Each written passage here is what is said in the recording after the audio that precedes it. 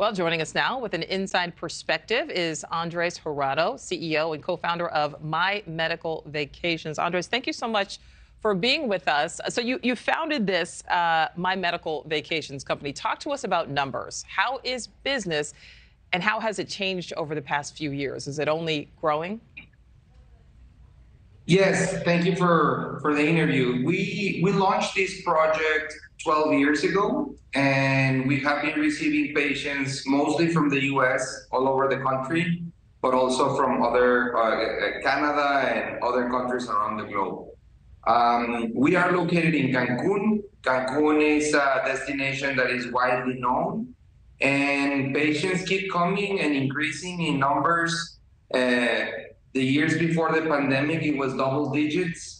Uh, the most seeked out procedures in Cancun are dentistry, cosmetic surgery, bariatric surgery, and more recently in the past few years, orthopedic surgery uh, from articular knee replacements, hip replacements.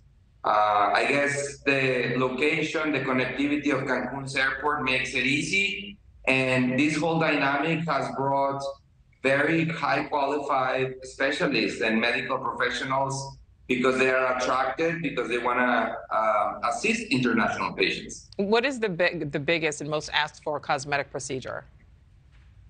Um, it would be like a combination known as mommy makeover. That's that would be like the the most demanded procedure. Um, it's not always uh, possible uh, according to uh, medical uh, literature and, and guidelines. Not everybody is a good candidate to have all of these all of these procedures at the same time.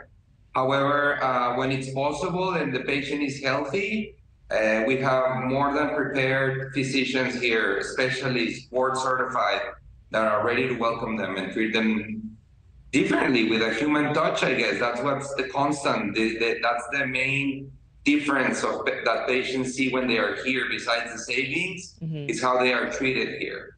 Well, Andres, what about safety? Because obviously there are, you know, countless people who who go through these surgeries and they're successful. But you know, how do you make patients feel safe not only on the operating table but also getting to the location and then during their stay and then when they leave?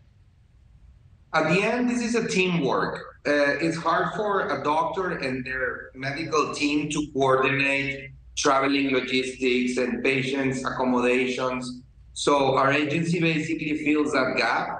And there are many like us that we work hand by hand with doctors, with hospitals.